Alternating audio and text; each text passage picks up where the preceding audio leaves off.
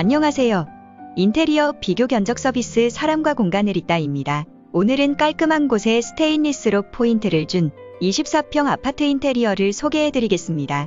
현관에는 중문을 따로 설치해주지 않아 답답하지 않고 양쪽에 수납장으로 신발을 정리할 수 있어 깔끔합니다. 화장실 인테리어는 현관 옆과 안방에 구성되어 있으며 공간을 효율적으로 사용할 수 있는 젠다이 선반과 차분한 컬러의 조적 디자인으로 고급스러움을 주었으며 샤워 부스에는 강화 유리로 공간을 분리해 주었습니다. 집안 전체는 화이트 컬러를 베이스로 잡아주어 깔끔하면서도 화사한 공간으로 완성되었습니다.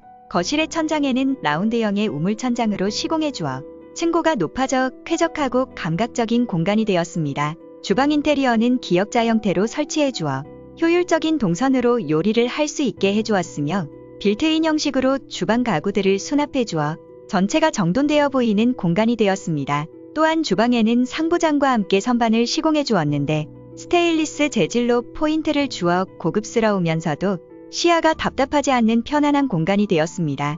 방 안에는 라운드형 게이트와 펜던트 조명으로 부드럽고 감성적인 느낌으로 조성해 주었습니다. 오늘은 전체적으로 아늑함이 느껴지는 공간인 24평 아파트 인테리어를 소개해 드렸습니다. 감사합니다.